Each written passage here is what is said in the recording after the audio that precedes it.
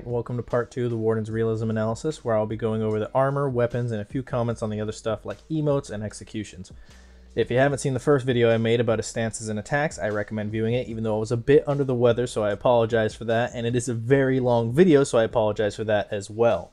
I didn't actually expect it to be that long, but then I needed to make sure I was thorough, and there was so much recording that I needed to do as well to make sure that I was thorough that I didn't really have a chance to make sure I was better. But I'm not sick now, so hopefully the last video wasn't too unbearable. But speaking about the last video, there's a few notes I'd like to make on that before we start this one. There's a lot of information when it comes to fighting with a longsword that I did not cover, like going into the bind, edge alignment, hand placement on the sword, and a bunch of other stuff. And if I were to go into that, then it'd just be a video about how to fight with a longsword and not really just analyzing what the warden is specifically doing. And it would also make the video much longer than it already was. Now, like I stated in my last video, I am not an expert and I do not claim to be. I'm just a guy who likes swords and history with only Google and a lot of reading at his disposal. So please bear with me if I get something wrong and feel free to correct me if I didn't get something right. I'm always open to a respectful discussion about history because I always love learning more. Now, with all that out of the way, let's start. So, before we get into the sections though, we need to set the context for our upcoming research and information. Let's start with a very basic question of what is a knight? Or better yet, what would a knight look like?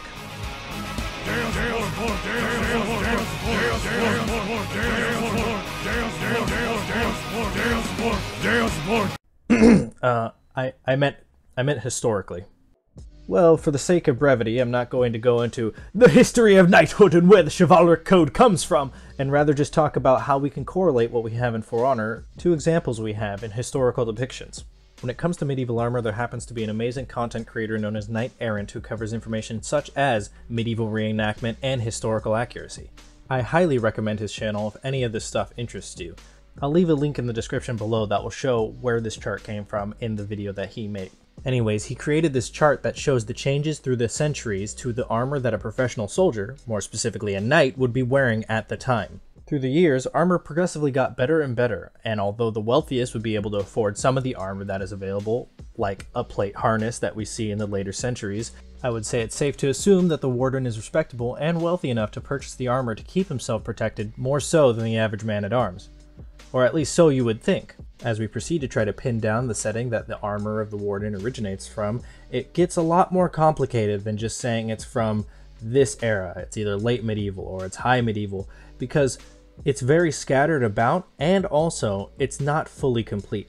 That being said, let's try to at least attempt to get a better understanding of the setting that the Warden would ideally be a part of. We'll start with his default armor because that is clearly the depiction of the Warden that Ubisoft wants to show. It's presented in all the marketing material, and it's even the guy that gets the beating in all the execution previews.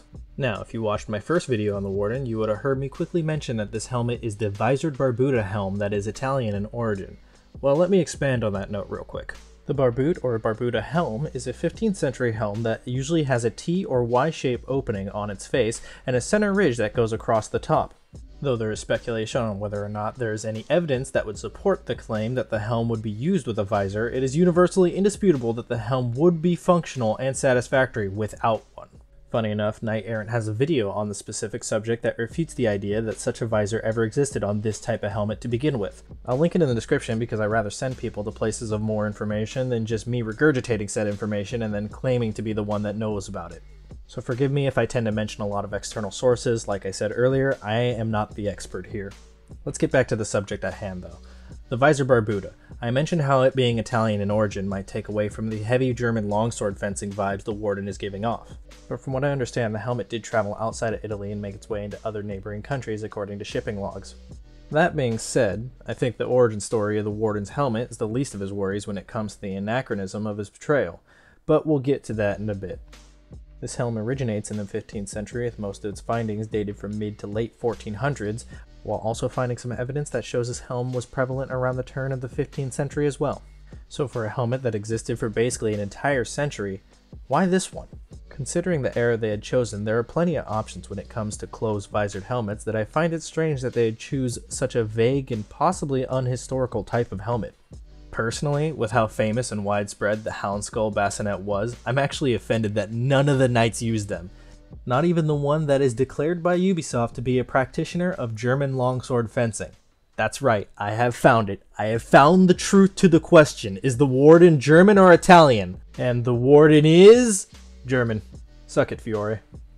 All joking aside, of course, uh, it's actually pretty interesting where I found this image specifically. I'll go more in detail about that later on, but for now let's get back to the helmets. Besides bassinets, which would actually be facing out during the 15th century, there's also the option of the sallet, which is another very fine helmet if I do say so myself. Personally, I think the Warden would look really cool in full Gothic armor, but I suppose that's just my opinion. Overall, I think there's just better options the Barbuta helm, and hopefully down line, Ubi will make some more historical helms for people who enjoy this kind of stuff, like me. Now segueing from that, what helms does the Warden have that I would say is the most historically accurate? Mind you, I say historically accurate, not what is the best armor, because everyone should have their own tastes in what to wear. Even me. So remember, everything that I bring up is in the context of just historical discussion, not really like, you should wear this. That said, let's talk about the helmets the Warden has that is considered somewhat historical. And let's start with the second runner-up in my opinion. And the second runner-up to me is the Great Helm. I know sadly the Great Helm is the second runner-up, but it's because of one glaring issue, ventilation. It either has way too much or not enough. Now when it comes to the Great Helm, the Warden has four of them, the Merope helm, the Vengeful Instigator, the older style Great Helm Elner, and then the coolest of them all, the Arcturus helm. Since the Merope and the Vengeful Instigator are basically the same helmet, I'll be covering both at the same time. Everything about these helms is actually very good and practical for the most part, and this is what you'd be seeing on the smaller Great Helms. And by smaller, I mean the ones that would be the only form of protection, which was very short-lived considering that it wasn't a very practical helm on foot, even though it was very protective, it was very cumbersome and restrictive. So in later years, you would actually see that knights would wear a great helm, and then under that a cervelliere, or also known as a skull cap, and then a mail coif, and then padding. That way they could remove the great helm after the cavalry charge, when their perception was more important than their protection because it would be on foot and a lot more close quarters. We see depictions of the Great Helm being used more on cavalry than on foot in the Morgan Bible. You can see in the example to the left. And we'll come back to the Morgan Bible in just a bit, but let's get back to the focus of the video and go over how this helm functions, based off of the in-game model. We see in the Merope, the Vengeful Instigator, and the Elner that they all have ventilations called breaths in front of the helm. The problem with them is that they're absolutely massive. We can see here in this finding of the Castel St. Angelo helm, probably being the best historical example of the largest breaths I have ever seen on a great helm, and yet they're still small compared to the ones the Warden has. Now the biggest downsides to having large ventilation holes on a helmet is of course, you know, you could get a sword point or a dagger point through there, but a much bigger problem was that shrapnel from wood as in splintering lances or shields could get in there, or a random arrow. I know it's extremely unlikely, but the idea of having a helmet like this is to go for maximum protection, especially while on horseback, and these are small minute features that you're going to have to think about when constructing a helm like this. There are historical examples of much smaller ventilation than what is shown here, and I'm going to show that along with the next helm, the Arcturus helm.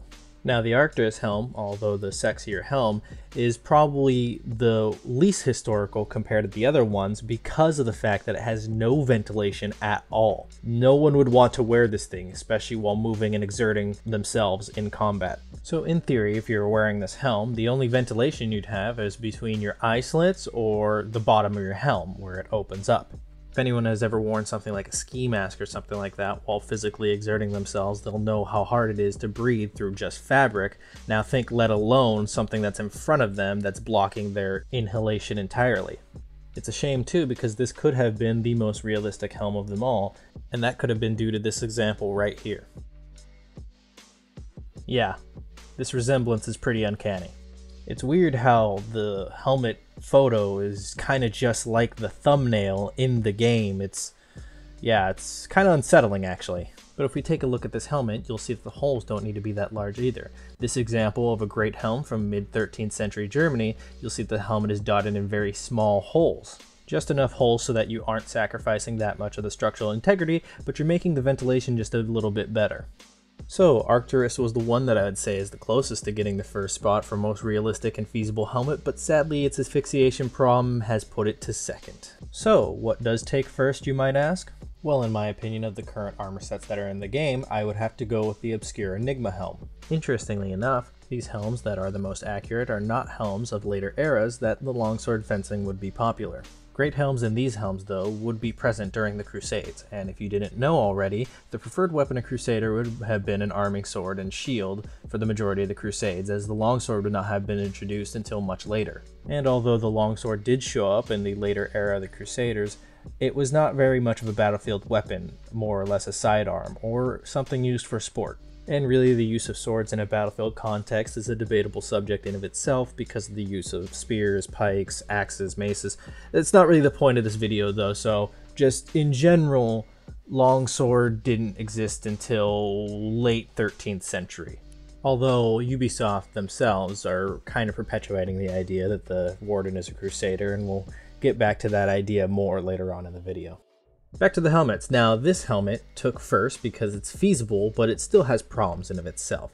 But for the most part, it's more realistic than the others. From what it looks like, it appears to be some sort of nasal helm or cervelliere, but its attachment system for the mail is all wrong. As we can see in game, it looks like it has a riveted liner around the brim of the helm itself, and then attach the mail to the helm like it's an aventail. For this type of helm, especially if it's going for a nasal helm, then the mail would actually just be a mail coif or a hood, and then the helm would go over it. Also, even though this would be more of a nasal helm than a cervelliere because of the center ridge that goes over the head, and the nose protection it has, it is also much too round to be a nasal helm. Although there are always exceptions, and as we can see here again in the Morgan Bible, there are multiple different kinds of helmets in this specific scene, including a rounded nasal helm.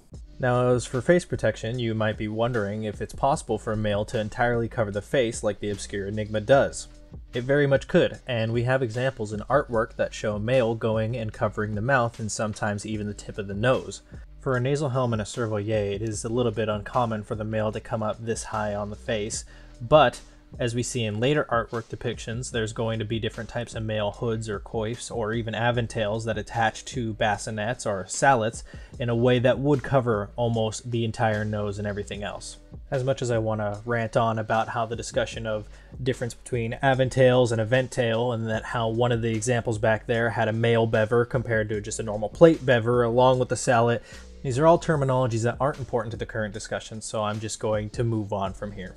Now, even though this helmet that is in game is not entirely representative of a historical model, it's not implausible, and it does have a lot more practical merit to it. I mean, at least you can breathe out of this one. Overall, I think this is the most historical out of all of them, although technically wouldn't be the most protective. Sometimes you have to sacrifice protection for practicality. But beyond that, I don't think there's any more to break down on this one because I don't want to be too nitpicky. So let's move on to his next piece of armor, his arms. Alright, for the arms, I'm just going to be brutally honest and say that the arm armor and pretty much the rest of the gear after this sucks. Alright, sucks is a subjective term. By sucks, what I really mean is that it's just kind of a random jumble of gear that could date from multiple eras at once, and it has a lot of random and accurate things about it. For the arms, let's start with the default Warden armor again. Starting off, the biggest offender of the Warden's armor is its general lack of full coverage. This problem goes past the arms, but I'll point it out when I get there. What do I mean by this? Well, if we look at the Warden's right arm, we can see a mail shirt. It looks like a mail shirt, but it doesn't connect to his torso. Regardless, it then stops about 3 fourths of the way down his bicep and then proceeds to just be Gambeson all the way down. Now don't get me wrong, Gambeson is a strong, effective, and necessary piece of armor, but its strengths pretty much stop at piercing attacks, and if there was a nice clean slash across it with a very sharp sword, the Warden would not be in a nice place. Okay, okay, maybe the Warden can't afford enough mail to cover his entire body, although then at that point he should put the mail on the exposures of his body, like the bend of his elbow, and not under his plating, but anyways, We've seen that there are soldiers and even knights who weren't filthy rich, and though it is not the norm of a knight, especially one of his standing, it's not unreasonable to think that he just doesn't have the funds to fully protect himself. Okay, I guess that makes some sense. Well then, wait a second. Are those fully articulated 15th century full finger gauntlets with forearm protection? It's like this guy has no protection in one area and then a fully tailored cutting edge piece of armor in the other. I like to imagine that he's taking all of his money and then just blowing it in a couple pieces of armor and then just leaving the others basically empty. I mean, I doubt it, but I like to believe. Now, lack of coverage is not just the only thing that you'll be seeing throughout the entire armor. There's another thing that I just want to get out of the way. Because it's just infuriating how cliche this is and how wrong this is. Why is his entire armor covered in rust? Funny enough, it's actually a part of all materials, no matter which one you choose. I know that because I accidentally forgot to switch over back to iron when making a full default Warden, so this is actually silver. You can really see on the elbow pads and the gauntlets how bad the rust actually gets. Here's what all the materials look like on the armor, and you can see that they all rust. Now, if you don't know, both silver and gold are non-corrosive, so it technically means it shouldn't be able to rust. One quick Google search would show that, and I know this is kind of a nitpicky thing, but it's really not about the different materials that could rust, it's just why add that much rust in the first place? I know they're trying to go for a gruff, battle-worn kind of feel to it, but like, if you were this guy who was fighting on a battlefield and you knew that rust is corrosive and damages the metal, why would you put that on something that you're trying to use to protect your life with? Funny enough, his armors all have types of rust on there, but majority of his swords don't look like they have any rust on them at all. The swords are another story. As for your armor, take care of your armor, it'll take care of you. Enough said about the rust. Two more things I'd like to touch on before we move on from this. Uh, he doesn't have matching elbow pads for some reason. It's like he lost one and just replaced it with some random one. And then he also has ridiculously large pauldrons, and there's way too large of a gap between each of the plates. They should be much more fitted to his arm. When thinking of large pauldrons, I like to think of tournament armor. This is the tournament armor of Henry VIII, or one of his many suits of armor. As you can see here on his pauldrons, or just anywhere that has multiple layers of plates stacked on top of each other, they're very closely fitted together, and that's usually because you wouldn't want any sort of dirt, grime, or even stuff that's large, maybe a dagger or something like that. You don't want that slipping through the gaps of your plate, so you want to make sure everything is closely fit together. Although I can kind of understand that Ubi just probably wanted another thing to use their physics engine on. Alright, enough of dragging on the Warden's armor, we'll do more of that later. What do I say is the most realistic? Well again, we really don't have that many options considering they're basically all the same pieces of armor, which mostly includes the base game set, until they added a new variant with their last set of armor. From that variant, there's one specific piece that isn't that bad, and that piece is the Tranquil Wayfarer. Specifically, and only, the Tranquil Wayfarer. And mind you, I did not say historically accurate, it's just that this one has the most realism to it to where it's like, yeah, that could protect you. Why this one? Full mail sleeves. That's basically it. Mail was a staple of medieval combat for centuries, and for good reason. I mean, actually, mail was even used during Roman times with their Lorica Hamata. Not having mail means you have plate, and not having either means you're either really poor or you want to die. There are depictions of people who didn't have anything much of mail, but they usually had a gambeson of some sort, and you have to understand that they were really poor. As you can see in this manuscript, there's multiple different types of people who are armored with different things. Some people don't even have mail coifs, while some people do, and if you can see in the bottom left corner, there's even one guy who has a set of greaves. But if you are a professional soldier and you're constantly putting your life on the line, you'd probably want to put some money towards getting a good set of armor, more specifically a mail hauberk. Back to the armor. So even though this armor is the most realistic, it's still very lackluster. There's no hand protection, and at least when it comes to longsword fencing for me, I get sniped in the hands quite a bit, but that's also because I'm an idiot and I kind of protrude my hands out a bit too much, but even so, if they see it as a target and you get hit there, you're losing one of your major things that holds onto your sword, so it's probably a good thing if you to wear something. Man, only if there were some sort of metal gloves that could protect his hands. Now, if they really wanted to double down on that Crusader style that they were putting off with those helmets earlier, then they'd ditch the plate and just put mail. Also, they'd use mail mittens for hand protection. Honestly, a more tapered and form-fitting Warden look with no plate and just mail would probably be more intimidating than a guy who just looks like he clanks with every step he takes, but that's just my opinion. As for the in-game armor, the plate that comes with it doesn't look too historically accurate either, or really well fitted for that matter. The shoulder pieces are so massive that it looks like they're actually levitating off the body. You know, the more that I think about it, the more I start to realize that the massive shoulders are to perpetuate the idea of the warden being the human shoulder, and that makes me sad. But yeah, Tranquil Wayfarer. Uh, the other ones are alright, but they just kind of add more to the bulk with like spikes or studs or something like that. Alright, it's time to go to chess pieces. Again, we'll start with the default chess piece. Now, even though it says chest piece, it's everything from the torso down, so we'll analyze all of that. Starting with the torso itself, interestingly, it has one set of armor, which is the coat of plates. That would be very cool and could tie in with the armor that they're already trying to portray with the rest of the time period, whatever that's supposed to be. But it just looks sad. The armor has six, count it, six plates on the chest. There are absolutely massive gaps between each plate, and I just wonder why? Why even wear it? Six plates will barely stop anything, especially punchers, which is one of the most common and lethal things on a battlefield next to bludgeoning. It's very disappointing. But especially when it comes to punctures, if one of those punctures were to hit the plate and then glance upwards, downwards to the left or right, it would find itself in one of the gaps and it would just go right through into one of the non-protected parts. And because you don't have any chainmail, it's basically going to get you killed. Everything looks worn per usual, and we can see the chainmail coif sit upon his collarbone. No other mail in sight for his chest. If we look at the backside of the chest piece, we can see that his belt has little metal circles around it though. Those little metal pieces are called mounts, and they're very popular for people who wanted to adorn their belts and show that they could afford to buy a nice articulated piece of metal attached to their leather belt. My question is, why is he missing one on almost all of his belts?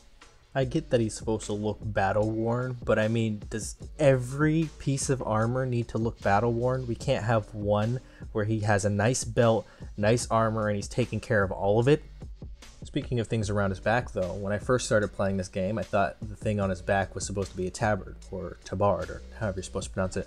It's apparently a cape. Why? I don't know. Is it historical? I don't think so, at least not in this case. When it comes to things that people wore in the medieval times, it's usually something that has a bit of a practical use to it. People did wear capes and they wore cloaks, but they usually covered a majority of their body. And it would make sense for him to wear a cloak while he's in full suit of armor because that will protect his armor from the elements. But it doesn't really cover much, and it being tucked in makes it harder to, you know, take off. And you would most likely take off a cape or a cloak if you're about to go into combat because it would really just get in the way. The belt system they have was actually very popular for keeping tunics, surcoats, and loose clothing items close together. So that is one thing that I can commend them for, is they did a pretty good job on that. But I can't find a reason of why you would want to get a cape just to tuck it into your belt. Also, why is the cape so small? What what's its purpose for? If it's not to keep them warm or dry and it can't wrap around the body like a cloak could, why is it there? All I can think of is that they kind of wanted to make a surcoat, but it doesn't cover the front of his body, and all it does is just hang out in the back and really not do anything. So it's just weird. Although one thing that I have to say that I think is really neat is the stitching on the cloth of the cape is in a cross patch kind of pattern that you would usually see on very thickly woven linen. This allows it to infer that it's either linen, canvas, burlap, something of that nature. And I mean, it's most likely linen, seeing that it's a very common textile throughout the medieval era.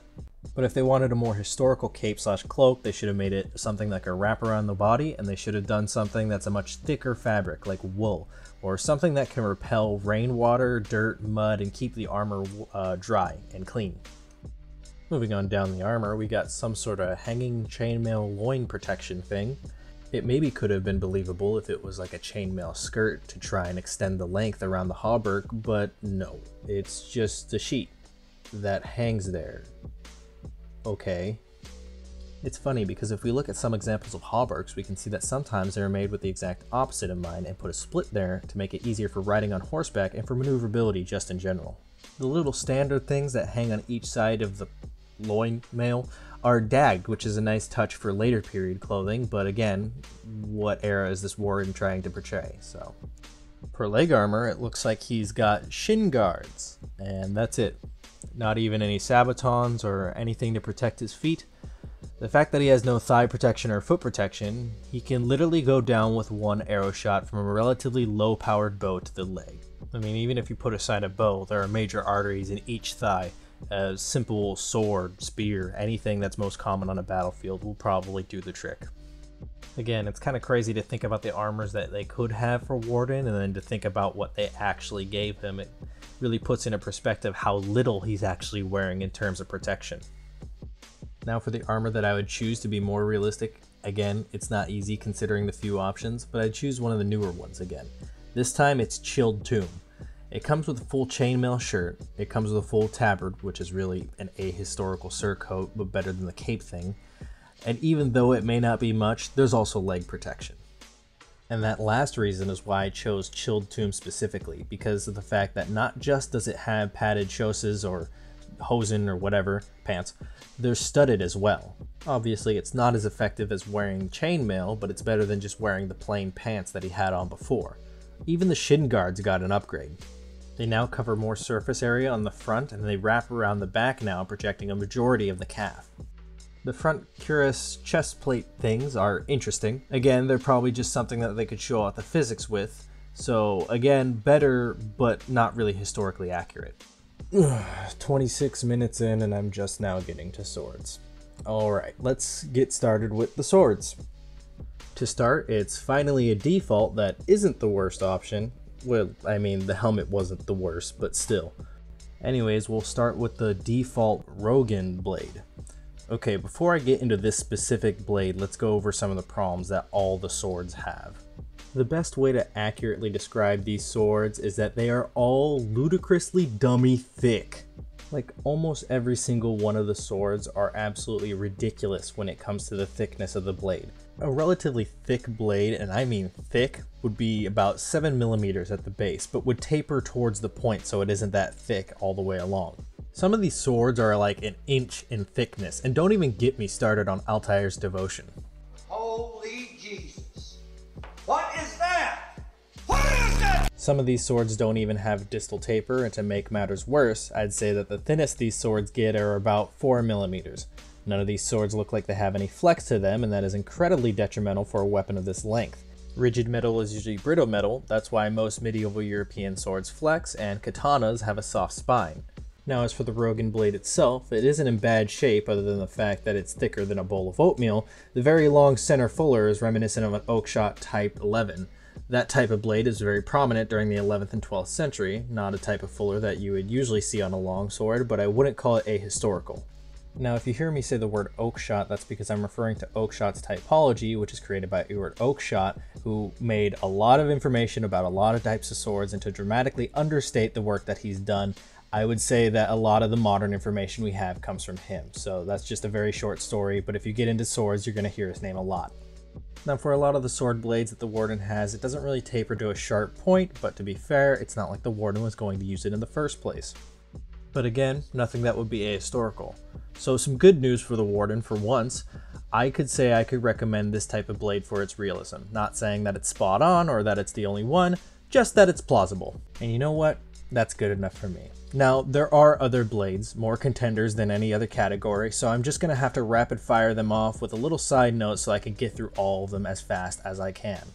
Richter blade, reminiscent of a Type 13A blade with a gold brass motif in the center.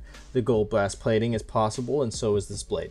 Gardakan blade, literally the Rogan blade, but with a rounded tip. Don't know why it exists, but technically it gets to be here. Sheeden blade, reminiscent of a Type 20A, but with very elongated fullers. Entirely plausible. Excluding the strange Rakasa motif, which in of itself is not unrealistic, the almost lenticular cross section, if not for the subtle midrib, actually shows that it's a diamond cross section with no fullers. Very nice. Guylaine blade, another type of double fuller blade. This one is pattern welded or Damascus printed. Considering the fact that pattern welding was even a part of Viking era blades to increase structural integrity, I would not be surprised if this existed, although metallurgy should have advanced enough by now to not warrant this. Wisdom and Judgment blade, hexagonal design with a wavy brass motif instead of a fuller, fancy and I suppose plausible. Altair's Devotion blade, and I know I said it was ridiculous, but that was just for the in-game thickness. I saw the guys at Ami make this blade, and that's why I'm saying maybe. But it's a very weak maybe, and that's why it's at the bottom. Alright, now that that's done, we can move on to guards. But before we begin, thickness. Why is it so thick? Do they realize that metal was a commodity back then? I mean, I feel like they do because they did an amazing job on the Japanese weapons, specifically the katanas and nodachis, but yeah, way too thick. The crossguard is meant to provide protection to the hands, so of course they need to be strong, but it's just a bit excessive on these guards. But just like the sword blades, if we were to imagine they were a bit thinner, then the Rogan guard would not be that bad. Kind of reminiscent of an Oakeshott style 6 guard, I could see this being real. Other candidates would also be Aleistar guard, literally the Rogan guard with more of a incandescent feel to it, I suppose. Sirius guard, This guard is plausible, especially for later centuries and towards the end of the longsword's life cycle, but Jesus almighty Christ, what are those quillons? The tips of this crossguard look like they add a pound each. Very excessive. Gardakan guard, a style that's comparable to 9 or 6, and also with engravings. The Sheeden guard, a nice swept S-shaped guard which is very mild compared to some reproductions that I've seen. Moving on, we have the Tringad guard, along the same idea of design behind the Sirius guard, but this time we have the intent of being usable without a crane. Alright, we're almost done, just gotta do the rest of the hilt. For the default hilt, again, I'm sorry for sounding like a record, but for the sake of clarification, I need to. Way too thick. The grip looks round like a log. You want the grip to be more oval shaped so you can find the edge of the blade so that you can do proper alignment with the strike you were thinking about. But if it's completely round, the only thing you'll have to find your edge with is the natural balance of the sword towards the edge. But seeing how these blades are shaped, I suppose it doesn't matter how you hold these baseball bats. All joking aside, the grip and the pommel aren't that bad. The leather wrap looks a little bit sloppy, but I wouldn't say that it's improbable. The pommel is a very interesting choice. It's a very ovalish pommel that is reminiscent of an Oakeshott Type B pommel, and what I would say reminds me of a Norman sword pommel. You probably wouldn't find something like this on a longsword, but at the same time, it's not as crazy as some of the other hilts, so I'll let it slide. The hilt I recommend the most is actually two, but they're almost identical. It's the Sheeden and the Gardakan hilt. Both have an Oakeshott Type T or T2 pommel. The leather wrap is just as sloppy as the Rogan's, but that's all because it's the same texture. Thanks, Yugi. The brass fittings on the Sheeden is not unrealistic, as a sword is just as much of a status symbol as it is a defensive tool. The reason I chose these hilts out of all the others is because of the pommel. The pommel tapers off to the grip, towards the top, and it creates a grip space without sacrificing weight, and you can see these tapered pommels in a few surviving examples of longswords, particularly the later period ones. That being said, there are some other notable mentions. Richter hilt. Sad and crude, but not impossible for someone extremely poor. The pommel resembles an Oakeshott Type B1 pommel with wood scales riveted to the tang for a grip, not even a leather wrap for grip protection. Again, crude but not entirely unreasonable. Next is a Sirius hilt. This knob isn't as massive as the ones that were on the Quillons, but to be fair, it's all about context. It's a pommel, it's supposed to be a big knob. The only other problem I have is that the hilt has random exposed rivets all around the grip. That has to be uncomfortable, and there's no way that those rivets were necessary. The Gadwin hilt. A nice leather wrap grip and an Oakeshott Type T3 pommel to it, it would have taken the place recommended if it wasn't for a slightly oversized pommel, but honestly, it's still really good. Next, the Galford hilt. Hey, remember the Richter hilt? This is him now. Feel old yet? Alright, I'll stop dicking around. The Howard hilt. I don't know how I feel about this one. For one, this is absolutely ridiculously ornate. You would have to be the highest in nobility to even consider this a thing. But let's take all the gold and the gems away. We have a round pommel with extra space on the grip to compensate that. We have a fine leather wrap with wire to go around the grip, which isn't really a longsword thing, and it's a bit wide between the wrappings, but I think the attention to detail is just too good not to mention. If there were a non-jeweled version of this with just a plain leather wrap and a wheel pommel made of steel, it would be first choice hands down. Guylaine Hilt. The flower-shaped pommel, although not considered historical, I am putting here because it is feasible. We have seen flower-shaped pommels in artwork, and I don't think this one is that far beyond that. Also a much nicer wood grip with a floral motif engraved in it, and overall solid hilt. Altair's Devotion Hilt. A better looking leather wrap than the Rogan and a swept pommel along with it. The pommel is reminiscent of a messer pommel and could theoretically have been a longsword, or at least a longsword shaped messer. And that wraps up all the gear. Time to move on to some extras. Let's start with the executions. Hilt Strike. A guy who falls on his knees is probably already dead, but it's always fun to see a hilt strike even if it is unnecessary. And for those who don't know, this is in theory called a Mordhau. Backhand Strike. I find this execution interesting because if we put this in the context of a close quarter situation, and let's say the sword blade got stuck in the enemy's armor, or you just got close enough to where holding your sword at a reasonable length is not viable, this shows an interesting technique that could be viable. Shoulder tackle. Did you watch the first video? Do you remember me talking about how you don't actually want to perform a shoulder tackle? This is why, but with a bit more getting yourself accidentally impaled on their sword instead.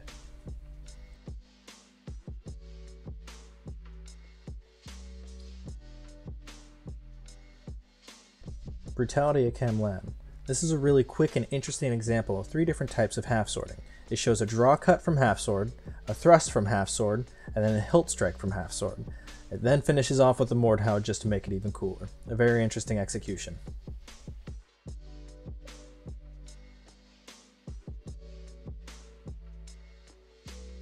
Now let me just quickly gloss over some emotes that I find interesting since there's only a few. Recognition. It goes without saying, but kneeling in front of a sword is very common for people to associate with knights wanting to show their humbleness. It's also very commonly shown in regards to the Knights Templar, more specifically to the straight T-shaped crossguard resembling the crucifix and their faith to Christianity. Now, if you already knew that, did you know that it was a custom for a Crusader or the Knights Templar to pray up to seven times a day? If you knew that as well, then I have nothing more to share since you already know everything. Blade homage. The way I learned to salute with the sword is with the blade pointing up, although I do like this version because of the whole when the blade is pointing down it looks like a crucifix thing, and what is more knightly than fighting in the name of God? Twirl. The figure eight is the easiest freaking flourish of them all, and it's not representative of the medieval sword master he's supposed to be. If you want to see a more impressive sword flourish, go look at Orochi's Twirl-a-Whirl emote, or Katana Spin signature. I swear man, the samurai get all the cool stuff.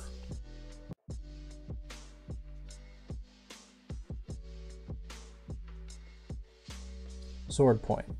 Oh wow, look, he knows how to thrust with his sword. Now if we could just get him to do that in the general vicinity of his enemies, then we'll be onto something. Both knuckle crack and blade polish. Do not take a sword and stick it in the ground or put the point in the ground and twirl it. All you're doing is dulling a very good point and a bit of the edge. And then you're going to have to go and hone it later if you want it to be better again. In real life for a knight, a sword is the last line of defense if all things go to shit and you're about to place your life in the faith that your training and your sword will hold up. I don't know about you, but I want every little advantage I can get, so that includes the little extra bit of sharpness I can maintain at the tip of the blade. Now before I end this video, I just want to touch on one more subject, which is the ornaments. The fact that there aren't enough helmet plumes, and I'm not talking the Roman kind, is just as bad as not having a bunch of cool bascinets. I don't know how they missed a chance for cool ponytail plumes on the helms, but it is what it is. For some ornament ideas that go along with history, there's the great helm with torse, or a mantle, or the headband that goes with a cloth. There's many names that it goes by. I've heard it been called a torse, I've heard it been called a mantle. I've even heard it just been called the headband. But uh, overall, that along with any of the helmets, even though it's supposed to go with the great helm. I think it would look great with all the other ones. Just at least give us the option to have it would be nice. In this late 14th century uh, depiction of Germany, you can see in the left center area there's a guy who has a plume, four feathers on top of the helmet. Feathers were very common for the plume construction and that would be really cool just to have the feathery plume. In this next one, we have a depiction of David and Goliath, although it just looks like a very short version of Fiore dei Liberi versus a knight who has the largest roll of newspaper I've ever seen. But if we look at the knight, he has two feathers, common standard plume, you know. I think that would be really nice to have as an ornament as well. A 15th century manuscript from France another depiction of a plume. This time it's only two feathers, green and um, yellow. This would really show a cool option for like team colors. You know, if it's multiple colors in one palette, then they can use multiple colors for each feather in the plume.